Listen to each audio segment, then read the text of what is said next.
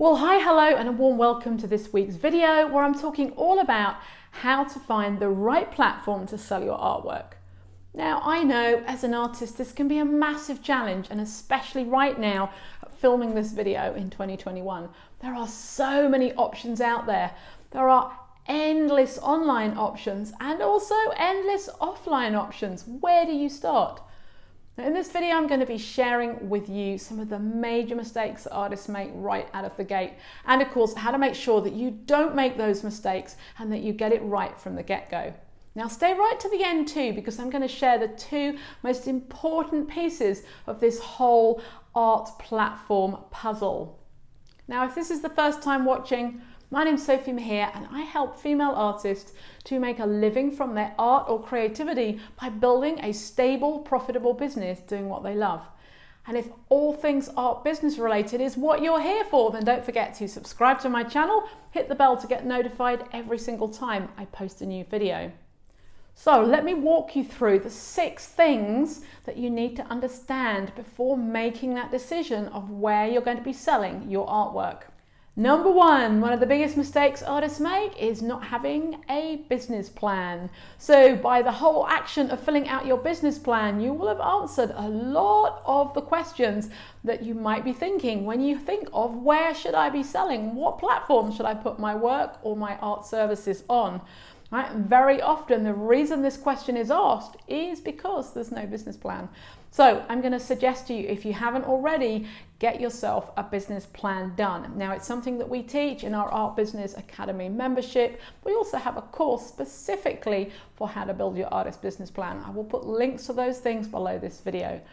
So, part of filling out your plan is looking at what you're selling, who you'd like to sell it to, your marketing around that, positioning, the time it takes to make the product, lots of different things that you need to really understand fully before you can even begin to make this decision of where you're going to sell your artwork. So, the second piece is coming out of that plan, and that is to really understand what it is you're selling. Are you selling large original abstract artwork on canvas? Are you selling limited edition prints? Are you selling digital prints, jewelry, ceramics, handmade, I don't know, items? What are you actually selling? So, to fully understand that, you need to again be making some notes. It's a big part, of course, of your plan. You might discover that you're going to be selling the, your different items on different platforms. So, for example, as an artist, I do create original art, artwork on canvases. I also have limited edition prints, but I also have print on demand products. That means my artwork is available on products. Are they all on the same platform? No. So it's really good to understand what you're selling. That's a big piece of where the decision is of where you're going to actually place them. Okay, number three, probably the most important part of all of this is you need to know who your target audience is. Who's that person? Who's the ideal customer that's going to want to buy what you have to offer? If you don't understand this piece, check out this video here where I talk all about target audience and how to find them. If you're not sure, or in fact you haven't even thought about this, you've just created something and now you want to find a platform to put it on, you need to stop and fully understand. Now we have a free resource available as well that I'll put a link to below this video. It's the Ideal Customer Avatar Worksheet. Hmm, sounds a bit techy, right? Actually, it's just a few pages where you can really dive a bit deeper and working out who is this person that's going to buy what I have to offer. And I promise you, you can't really choose the right platform for your artwork if you don't understand your audience. Number four, once you've done that, you have to ask the question where are they shopping already? Okay, are they shopping on online marketplaces like um, Etsy or Artfinder or Saatchi Art? Are they already there looking? Or perhaps they don't use online shops at all. Perhaps they prefer to use uh, local galleries, boutiques, markets. They shop local. They don't really use social media. Are they on Instagram? Are they on Facebook? Are they looking to buy on Pinterest? Or aren't they using those? You need to understand where they are already in order for you to make that decision. Because if you've discovered your ideal audience spends all their time on Pinterest and they shop on Pinterest, but you don't even have a Pinterest account, and then you're trying to sell your work over here, it's a big mismatch, all right? Big mistake that gets made, but that's okay because you're not going to do that ever again. So, number five of the things that you need to understand before choosing that all important um, placement of your artwork, and that is some offline options. So, if you've decided that you're going to sell your artwork offline because you've discovered your audience are not online, you discovered you need to find some physical placement. There's two real different sides to this. So I like to just split it down the middle and make this really easy. So offline events that are organized by third party, so that might be an art fair or art exhibition that's organized by a gallery or a, a, some sort of third party versus the event that you put on yourself. So Open Studio Trail that you've decided to be part of, solo Open Studio, not part of a trail big group exhibition in a gallery, fully backed by the gallery, you've hired a gallery space to do a show on your own.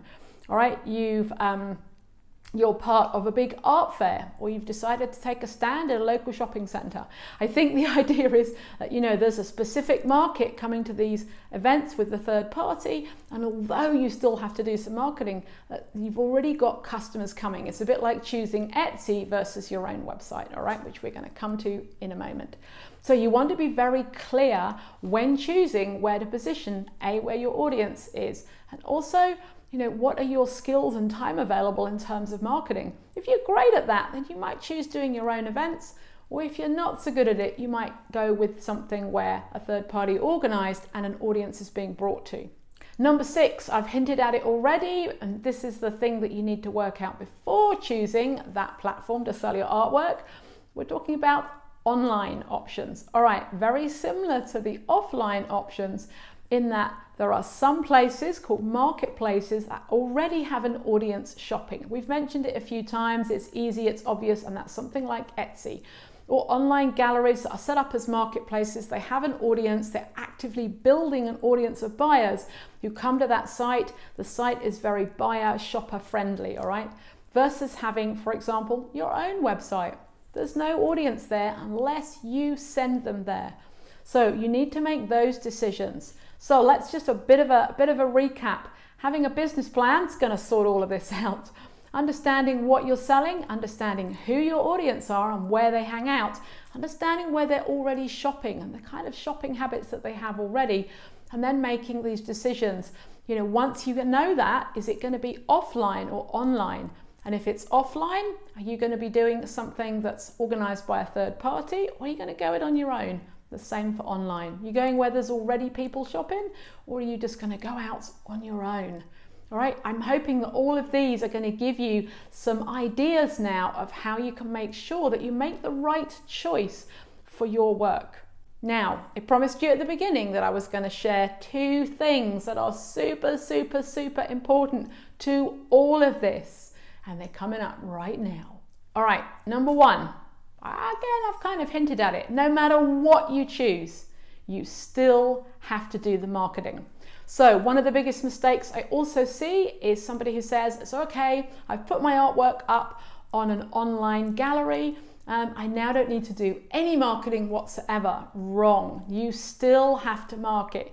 You should be doing your own general, on what I call ongoing marketing anyway, but you still want to send people to that site that you've chosen, whether it's online or offline. You still need to send them to that event and find out more about that event, especially when you're starting out. Right, there's a kind of tipping point that happens further down the track where there's enough people on there, enough people who found out about you, and after a while, you perhaps are not going to need to send quite so much traffic to that site. But initially, you know, please don't do what a lot of people do is I've put, you know, 10 paintings up on this site or I've listed my workshop on this site and there's supposed to be people looking for workshops and now I'm sitting here waiting for the phone to ring. It's not going to work like that. You've got to put in the work and the effort in order to get the results. Right. Number two, you must be building your artist mailing list. All right, you need to be in control of your art business because if you're not, that third party is. All right, there's a lot of grumblings around one particular uh, marketplace online at the moment. And it's like, well, they have every right to change their rules and regulations because it's their platform. So consider taking some of the control back. Make sure you build your own mailing list so that you can contact your customers and you can build connection and trust between them. So one of the things that you want to be doing is checking out these videos here all about building your artist mailing list. Right now, as well, we're right at the time of shooting this, we are just about to run a challenge in our free Facebook group, the Business for Artists Facebook group. So, if you're watching this around the time of July 2021, then we have a 10 day challenge about to start, which is how to set up your mailing list. So, if that's something you're floundering on, or the tech is kind of banging you on the head and you're pulling your hair out and you're like, I don't quite know how to get this done, then we have some help for you as well. Okay, so I hope that's been helpful. I hope you've enjoyed that content and I hope you're now getting excited when you think about now what are you going to choose? Once you've done the work of these steps, I promise you it'll make it so much easier. Once you have chosen where you're going to place your artwork, please let us know in the comments because we'd really, really, really want to hear from you. We want to find out where exactly are you going to be putting your artwork or art services for sale. Oh, and if you've really enjoyed this video, please give it a like because it really helps build my channel. Thank you so much for watching and I'll see you on the next video.